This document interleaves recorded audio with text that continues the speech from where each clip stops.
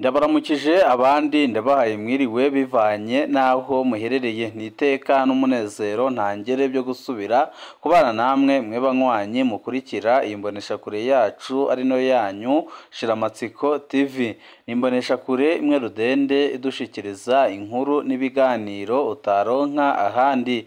Uyu ni umwanya w'amakuru agezweho ari kuvugwa ngaha mu gihugu cy'u Burundi aho ino mboneshakure yacu ari no yanyu shiramatsiko tv ibategurira amakuru ahambaye cyane aba ari kuvugwa mu bisata bitandukanye aho twibanda cyane cyane ku makuru aba ari kuvugwa ku gateka kazina muntu aba ari kuvugwa mu butungane aba ari kuvugwa mu cibano aba ari kuvugwa ku mbuga ngurukana bumenyi ndetse n'andi yose mutamenye mwamwaranyegejwe turatohoza amaze tukabashikiriza ido n'ido.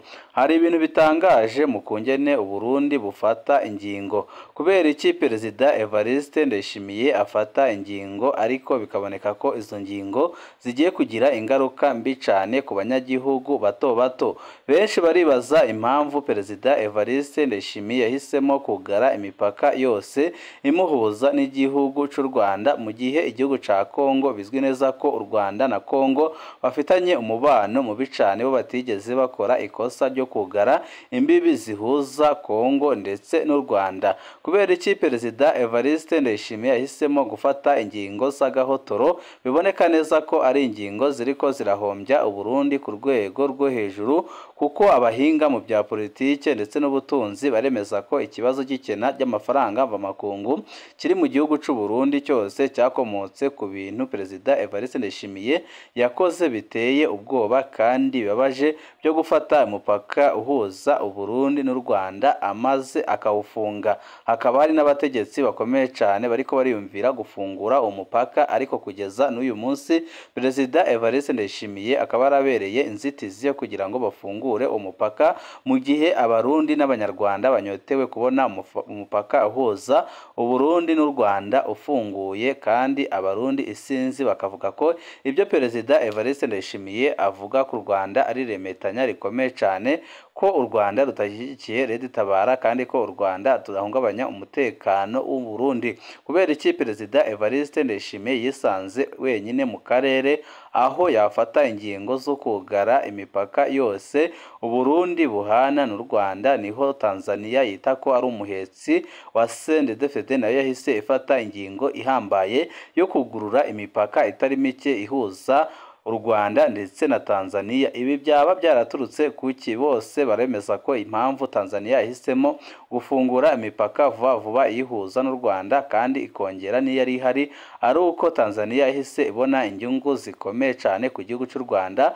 Izo nyungu zose zikaba zahora zijya mu burundi ariko tanzania muri uyu minsi akaba ariyo iriko irazibona. Ibyatumye abarundi batari bake bahita bagira ishavu rikomeye cyane bakavuga ko igihe kigeze kugira ngo perezida evariste ndayishimiye ye akurwe ku butegetsi kuko ntaco ariko arafasha abarundi. Hari amakuru ahejeje kudushikira ava mu bihangange bikomeye cyane avuga ko byanze bikunze umupaka w'uburundi n'u rwanda ugomba gupfungurwa. Perezida evariste ndayishimiye yabishaka atabishaka iyo ngingo ikaba yamaze gufatwa n'akarwi gakomeye cyane kabona neza ko igihugu cy'u Burundi cyaba kigiye kugwa mu manga ikomeye cyane kubera iyo ngingo y'agahotoro perezida evariste ndayishimiye yafashe kandi bikaboneka neza ko ari ingingo yahombeje abarundi ku rugero rukomeye cyane kuko ibyo abanyarwanda bakuraga mu burundi n'ubundi bari kubikura muri tanzania n'ubundi byavuye mu burundi bigatuma ikori ryose ryagasigaye mu gihugu Burundi ndetse n'amafaranga mvamakungu akaboneka byose byigira mu gihugu cya Tanzania mu gihe CNDD-FDD yirirwa yihenda ko Tanzania ari umuhetsi wayo. Ni byinshi twabateguriye tugira ngo tubashikirize wecu usabwa nta kindi niba ukunda amakuru n'ibiganiro tudahwema gucisha kuri n'umuyoboro wa YouTube Shiramatsiko TV ukaba utarabyonda kuri sabone. Byondaho canke ukande subscribe kugira ngo uko dushizeho amakuru n'ibiganiro bene nk'ibi ujye uba mbere mu gushikirwa na byo. Hari ibintu bitangaje mu kungene uburundi bufata ingingo. Kongo yagiriza rwanda ko rwayiteye mu mvugo y'abakongomani wumva umengo bariko baragwana. Ariko Kongo ntiyigeze yugara umupaka basangiye n'u Rwanda. Kubera iki? Abategetsi ba Kongo n'abo banka u Rwanda barahuye baratahuye ico umupaka w'u Rwanda ubamariye basanga kugara birabahombya igihugu gusa. Tanzania ifise ingabo muri Kongo yararungitseyo ibigwanisho bikomeye kugwanya M23 CNDD-FDD yirirwa iririmba ko Tanzania ariyo muhetsi wayo. Uburundi bwapfuye kugara umupaka buhana n'u Rwanda Tanzania ica inyaruka gusinya amasezerano ajanye no guhana imfungurwa n'u Rwanda. Ni ukuvuga ko nka zandagara twishimira ngo abanyarwanda bagiye kubura bazishatse baca bazikura muri Tanzania na rya Tanzania ariyo ifise agace kinini ca Tanganyika. Ntibyagarukiye ngaho mu kwezi guheze Tanzania yumvikanye n'u Rwanda ko bagiye kugurura umupaka ugira kabiri bahana n'u Rwanda kugira umurindi wo guhana ibidandazwa wongerekane Perezida Samia Suluhu ubwiwe yarishikiye mu cunamo co kwibuka imyaka mirongo itatu iheze inyuma y'ihonyabwoko ryakorewe abatutsi mu mwaka w'igihumbi kimwe magana cyenda na mirongo icyenda na kane mu Rwanda. Mu ncamake uko Burundi buhomba mu kwiyungurana niko mu kwiyugarana niko Tanzania ihungukira. Afurika y'Epfo yarungitse ingabo muri Kongo kurwanya M23. Kubera Afurika y'Epfo yitwa ko ari co gihugu ca mbere gikomeye muri Afurika. Ibyo byari byahaye cizere gikomeye Perezida Tshisekedi na Perezida Ndayishimiye ko M23 bagiye kwituza. Siko byagenze kuva Afurika y'Epfo aje M23 yabandanije kwagura uturere igaba. Afurika y'Epfo iramaze kuburira abasirikare muri Kongo indege yabo ikoreshwa na MONUSCO iramaze kuraswa akatari gakeya. Amatwi adusumira hariho abasirikare ba Afurika y'Epfo baba baherutse gufatwa mpiri na M23 Afurika y'Epfo yoba yasabye u Rwanda ko rwobafasha ngo M23 ntiyirekane abo basoda. Ni gutyo Perezida Cyril Ramaphosa yishikiye Kigali mu cunamo co kwibuka imyaka mirongo itatu iheze inyuma y'ihonyabwoko ryakorewe abatutsi hari ku itariki zirindwi ukwezi kwa kane bibiri na mirongo ibiri na kane. Ariko ahanini yashaka akaryo ko kuvugana na Perezida Kagame. Mu kiganiro yatanze Perezida Ramaphosa ageze ageze muri Afurika y'Epfo yavuze ku migenderanire ya Afurika y'Epfo n'u Rwanda. Igihe gukomera cyane ko agiye gusubira korohereza abanyarwanda kuronka visa. Ko ikibazo ca Kongo bumvikanye ko bagiye gucira imbere ibiganiro kurusha intambara. Ko agiye kumvisha na SADC iyo ntumbero ntawe uzi ko bizobandanya. Burundi nico gihugu conyine ciyugariye ko imipaka gihana n'u Rwanda. Abatwara Uburundi bavuga ko bashaka kugwiza ingenzi ariko ingenzi nyinshi bwahora buronka niziva mu Rwanda aho burindwi abanyarwanda batari bake bahora baza gufata akaruhuko i Bujumbura bakazana amafaranga mvamakungu bagafata amahoteli bagafungura muri resitora z'u Burundi bakagenda basumye. U Rwanda rwariko ruragwiza amasezerano atuma haba ibidandazwa byinshi za biciye ku kivuko ca Bujumbura gutyo Burundi bukunguka ubuzi n'amafaranga mvamakungu ariko byose se Perezida Evariste Ndayishimiye bitesheje agaciro? Akaba ariyo mpamvu amafaranga mvamakungu yabuze mu gihugu c'u Burundi kugeza aho amahinguriro akomeye cane agiye kugara imipaka nka Brarudi ndetse n'andi mahinguriro akomeye cyane amaze kugara imipaka mu gihugu c'u Burundi kubera ibura ry'amafaranga mvamakungu. Amasoko yacu y'ibanga yaratubwiye ingene u Rwanda rwafashije mu Uburundi mu gukuraho ibihano bwari bwafatiwe n'amakungu.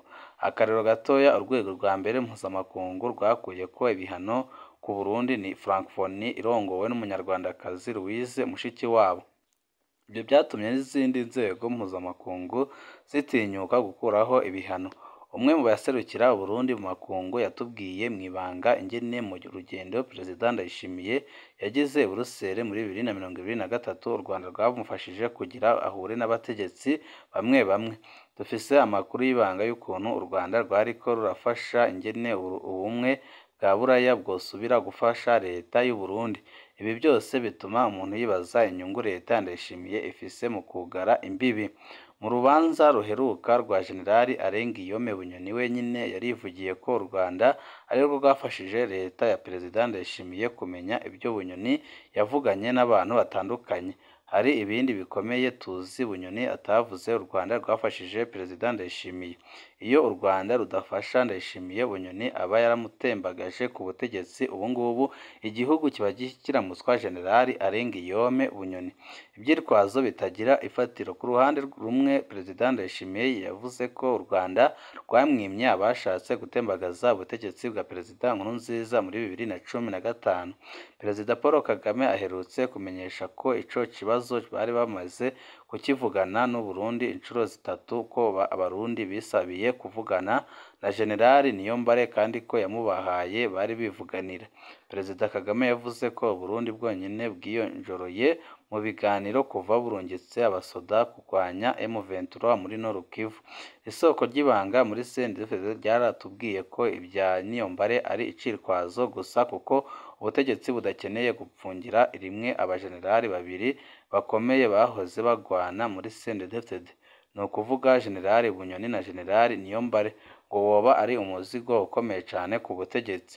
Icyitwazo cya kabiri ni ukuvuga ko u rwanda rufasha leta itabara kandi ko abashatse gutembagaza ubutegetsi muri bibiri na cumi na gatanu ari bo bayirongoye.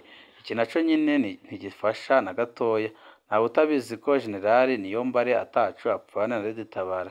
Niyombare yari arongoye forebo iyo na yo ntikivugwa muri kino gihe. Leta itabara irazwi iyo iri muri congo. Perezida kagame yaravuze icesi ko burundi bubizi neza ko ata n'umwe arekuriwe kubutera avuye mu rwanda. Noneho n'abasoda ba leta itabara bahungiye mu rwanda baciye bafatwa bahabwa uburundi. Uburundi buvuga ibyo mu gihe ubwo bwarungitse muri congo amabatayo atanu y'abasoda ariko afatanya ingwano na fdrr ntiwibaze hamwe u rwanda narwo rwurungika batayo zitanu z'abasoda barwo gufatanya intambara na red tabara. Igihugu cy'u Burundi cyahita gifatwa mu minsi mike cyane. Mu Burundi ni ho honyine uzobona umukuru w'igihugu asomborotsa igihugu kibanye ibyo akabikora. Azi neza ko igice cy'igisirikare cy'ibigwanisho yabirungitse kure mu mahanga. Ibyo akabikora azi neza ko we ahaheze imyaka atagura ibigwanisho mu gihe wa mubanyi nawe amaze igihe agura ibigwanisho bigezweho. Ibyo byonyine birerekana ko azi neza ko icyo gihugu kibanye kidafise umugambi wo kumutera. Hari utubazo umuntu yokwibaza hano kandi dukwiye kubazwa perezida ndayishimiye. Ku ntwaro ya perezida buyoya ntabamukurikira ntabamukurikiye abatera uburundi bava muri tanzania. Indongozi za cndfd n'iza parepehutu zari muri tanzania. Ni ukubera iki perezida buyoya perezida ntibantunganya na perezida ndayizeye batigeze bugara imbibi z'uburundi na tanzania kandi bari bazi iyo uwubatera azanana? Byagenze gute ngo bemere kuja gukorera ibiganiro muri tanzania kandi ariyo yari ibitse abarongoye imihari ibagwanya ibarwanya gisirikare? Kuvuga ko abandi bose barwaye Burundi bari ibishuju maze ubwenge bukaba bufiswe na CNDD-FDD gusa. Abarwara Uburundi boba barusha ubwenge abarwara Afurika y'Epfo babona abasoda baba bafashwe bakanyarukira kuganira ingene imigenere yoba myiza. Boba barusha ubwenge abatwara Tanzania barungika abasoda muri Congo ariko bakiga ingene rudandaza bakorana n'u Rwanda rukomera. Baba barusha ubwenge Congo ivuga ko irwana ariko ikabona ko yugaye urubibi rwayo n'u Rwanda yoba ihombye byinshi. Uyu munsi Uburundi butwarwa n'abitwaje Bibiliya n'umusaraba. Bitwa ko bashize Imana imbere ariko bakaganzwa n'urwanko mu byo bakora byose. Urwanko rufatiye ku moko. Urwanko rufatiye ku byiyumviro bya politiki. Urwanko narwo rurazwi nk'umuzi w'amabi yose. Urwanko runafunga amaso umuntu akayoberwa inyungu ziwe. Igihe yugurura urubibi rw'uburundi n'u rwanda muri bibiri na mirongo ibiri na kabiri perezida ndayishimiye yari yavuze ko umubanyi ataho mushirana ko mutegerezwa kuguma muganira wamengo akenge kagarutse. None ubu yaciye asubira kubyibagira. Abarundi n'abanyarwanda turi abavandimwe ntawe tuzoshirana. Bibiliya ivuga ngo ese ingene biryoshe kubona umubano mwiza w'abavukana. Iyi mana y'abadede yigisha kwikorera imisaraba na za bibiliya ariko akanwa kakama katuka urwango ni nyabaki koko bavandimwe. Ibi ni ibintu bibabaje kandi biteye ubwoba ariko hakaba hari amakuru adushikira avuga ko hari ibihangange muri CNDD-FDD biri kwiyumvira gutabara igihugu kimaze gutabagara amaze bagakoresha ingufu bafise zaba iza gisirikare ariko bakugurura umupaka uhuza Uburundi n'u Rwanda kuko Uburundi n'u Rwanda igihe bari bakigendanira ibintu byari bimeze neza kuko amafaranga mvamakungu nubwo atari menshi ariko yarabonekaga.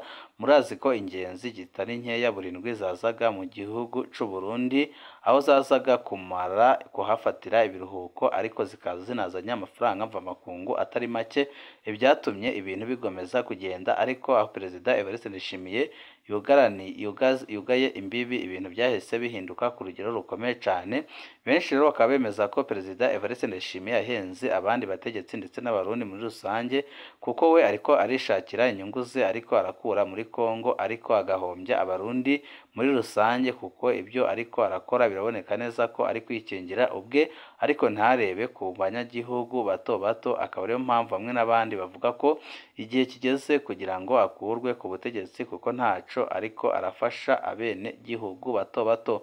Banywanyi bacu ni ngaha duce dusozerera amakuru twari twabateguriye mu kandi kanya kari buze.